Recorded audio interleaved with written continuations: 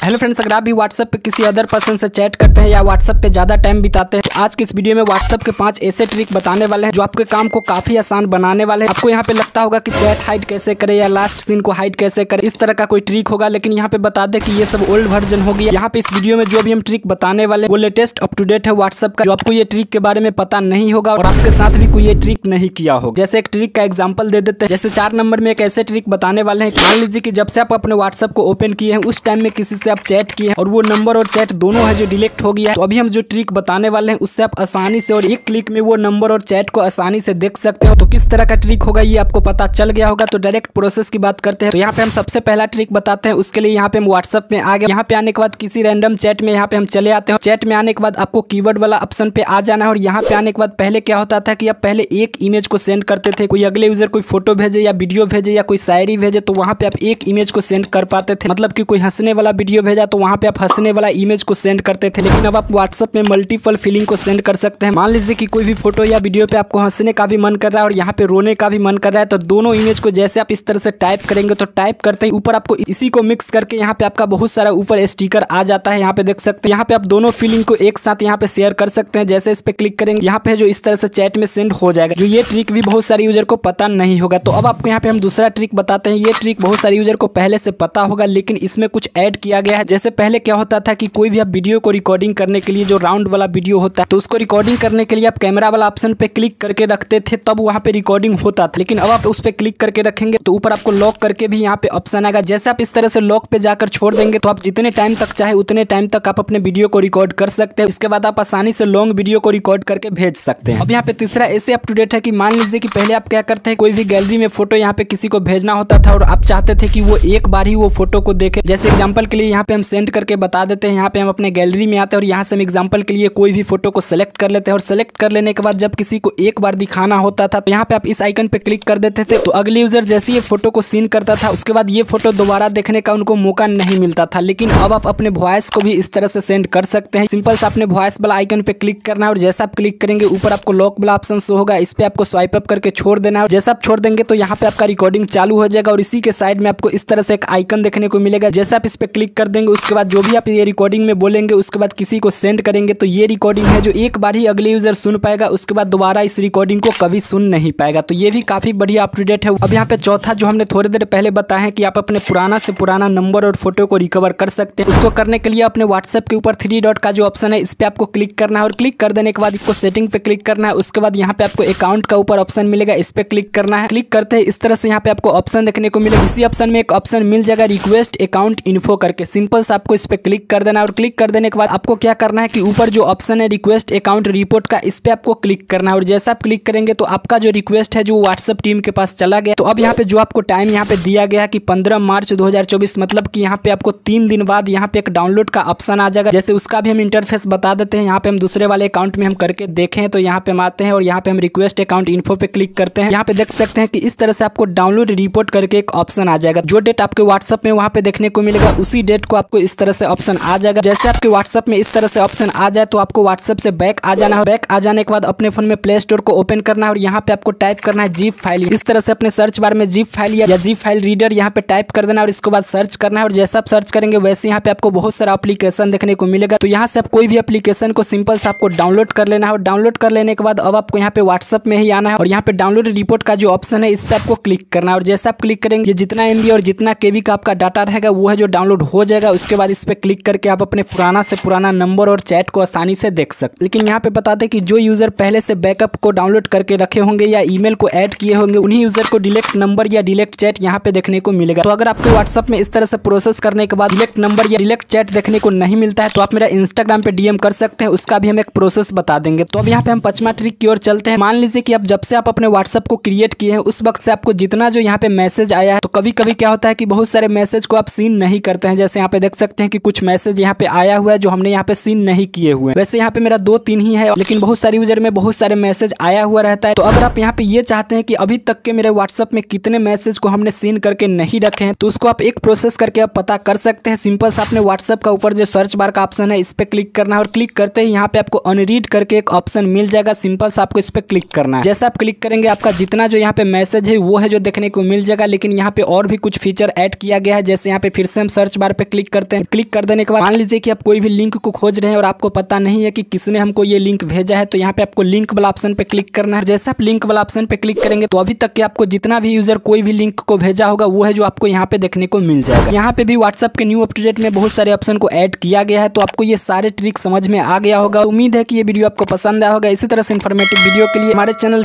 को सब्सक्राइब करें। मिलते हैं नेक्स्ट वीडियो